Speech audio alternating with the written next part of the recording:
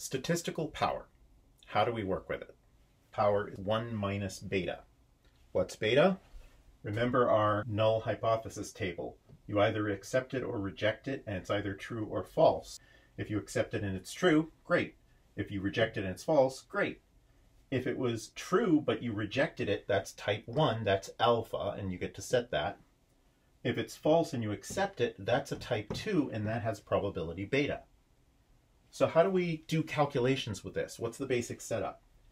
First of all, you need to know it's a one-tailed test. We are testing a null hypothesis, for example, that p is less than or equal to 0.4 with a specific alternative, let's say p equals 0.6. So if the power is 80%, that means beta is 0.2. But what does this mean visually? We are doing a one-sided hypothesis test. So you're used to seeing a bell curve. But what we have now is two bell curves. Now, where do I draw the cutoff? Here's the thing. Alpha is supposed to be small, so we need to be scooted over.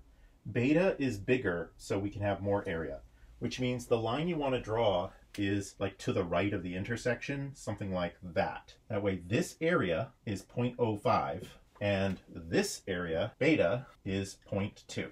If our observed result is greater than this critical value, we will reject the null.